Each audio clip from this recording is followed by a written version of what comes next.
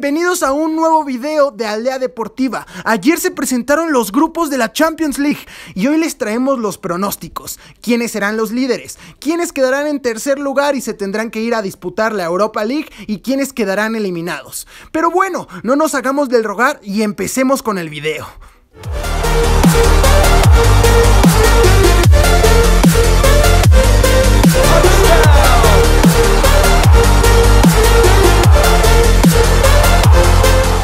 Empecemos con el grupo A. Tiene dos claras cabezas que lucharán por estar en la cima. El Atlético de Madrid que tiene su nueva delantera con el recién incorporado Luis Suárez, que hará una dupla matona con Diego Costa. Sin olvidarnos que atrás de ellos podrían tener a Joao Félix, un creativo tremendo. Por el otro lado tenemos al Bayern Múnich, con la incorporación de un velocista, como Leroy Sané, que hará un tridente de miedo con Lewan y Nabri. Sin duda son los favoritos para el primer lugar, aunque sabemos que el Atlético de Madrid es un conocido mata gigantes, como hizo en los octavos de final contra el Liverpool. El Salzburgo, que fue un equipo que sorprendió la pasada edición, creo que solo aspira al tercer puesto y a ir a Europa, ya que este año ni Haaland ni Minamino están en sus filas. El Lokomotiv aparece como el débil que quedará pues en último lugar. Pero siempre puede haber un efecto David y Goliat y dar una sorpresa. Aunque creo que es muy obvio que el Bayern quedará con el primer puesto, el Atlético en segundo, el Salzburgo en tercero y el Lokomotiv se quedará con el triste último lugar de este grupo. Vamos con el grupo B.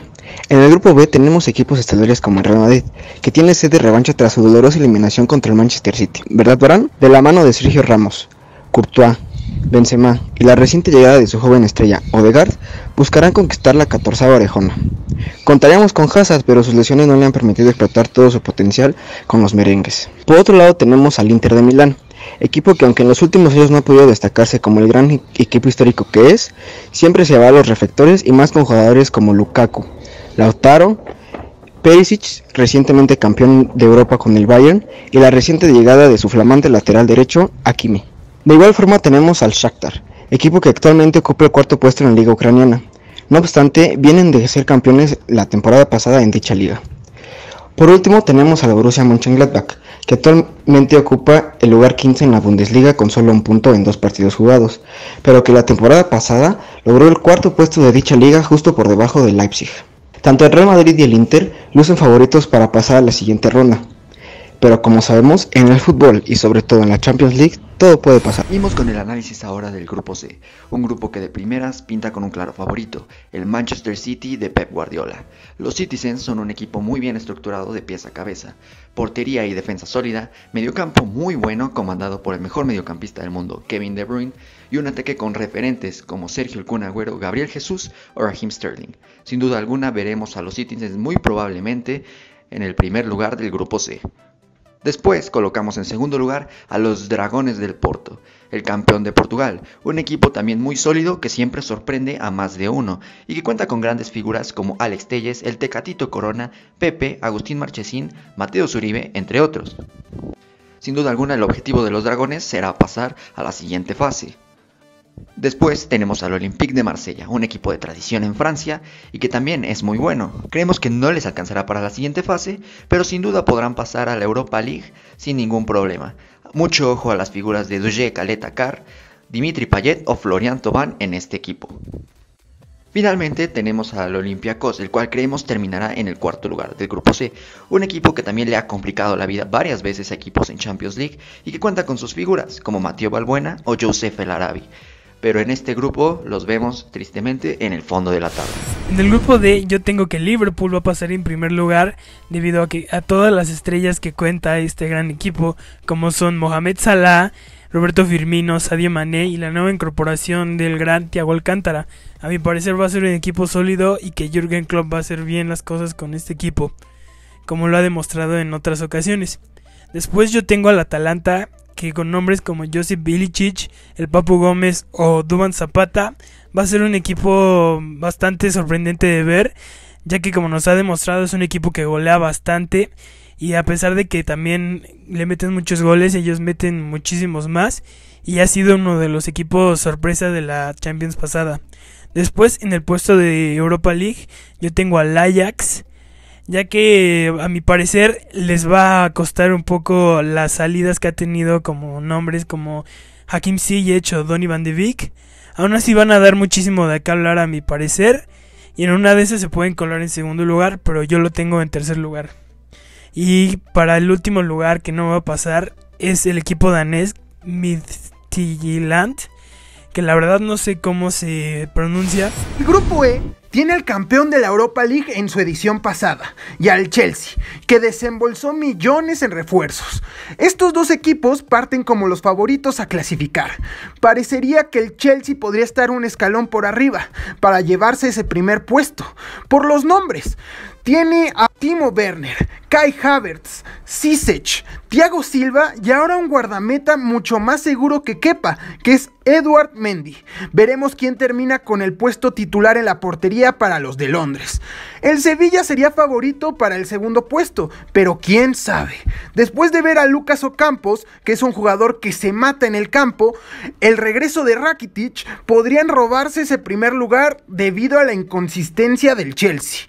Rennes lucharía por la Europa League, de la mano de su mayor promesa y la mayor promesa tal vez actual del fútbol mundial, Edward Camovinga.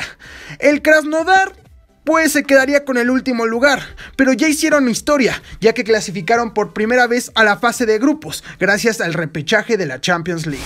El grupo F parece ser un hermoso pastel servido para el Dortmund, que con Sancho, Haaland, Reus y su nuevo refuerzo cedido del Real Madrid, Reinier, la tendrán fácil para hacerse del primer lugar. Es cierto que está la Lazio de la bota de oro Ciro Immobile, que sin duda será un fuerte rival, pero no creo que sea suficiente para lograr el liderato. Ellos se tendrán que conformar con un segundo lugar, o incluso el tercero, quién sabe cómo esté Brujas y el Zenit. Pero por el otro lado, como ya mencioné, está el Club Brujas de Bélgica, que la temporada pasada, a pesar de quedarse fuera de los octavos, logró darle la batalla al Real Madrid en un partidazo. Así que ellos lucharán por el puesto de Europa League desde mi perspectiva.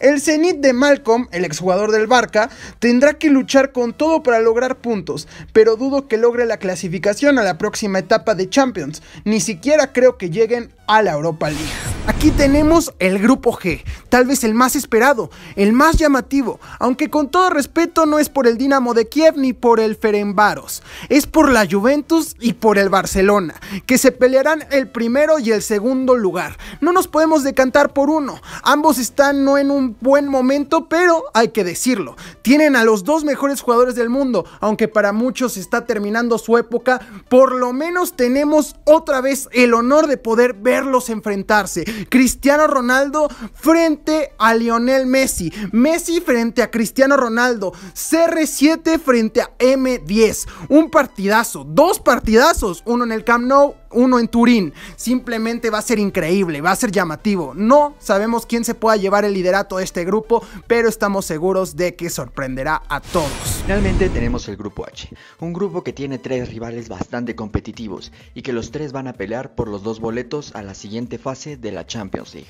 En primer lugar del grupo colocaremos al Paris Saint-Germain, un equipo bastante competitivo, de los más poderosos de Europa y con los mejores planteles. Neymar, Mbappé, Keylor Navas y compañía van a pelear arduamente para que el Paris Saint-Germain pueda volver a llegar lejos en la Champions League y, por qué no, esta vez ganarla. Por eso colocamos al Paris Saint-Germain como primer lugar de grupo, el cual creemos que no tendrá muchas dificultades para pasar como primero a la siguiente ronda. En el segundo lugar creemos que va a haber una sorpresa. Pasa el Leipzig de Julian Nagelsmann, uno de los mejores entrenadores en la actualidad. Vimos la temporada pasada que no hay que subestimar a Leipzig. Por más que hayan perdido una figura de la calidad de Timo Werner, no hay que subestimarlos. El Leipzig cuenta con mucha calidad en todas sus líneas y es capaz de sorprender a más de uno. En tercer lugar colocamos a un Manchester United algo desequilibrante, sí, con piezas bastante importantes como Bruno Fernández, Marcus Rashford, Mason Greenwood y demás, pero que creemos que se va a quedar un poco corto y va a terminar decepcionando un poco a sus aficionados. El Manchester United pasa como tercero a la UEFA Europa League. Finalmente, en cuarto lugar, al que no vemos con muchas posibilidades, el Istanbul Basaksehir, el cual se quedará en el cuarto y último lugar del grupo H. Muchas gracias por ver el video, recuerda darle like, suscribirte y déjanos en los comentarios quiénes son tus favoritos.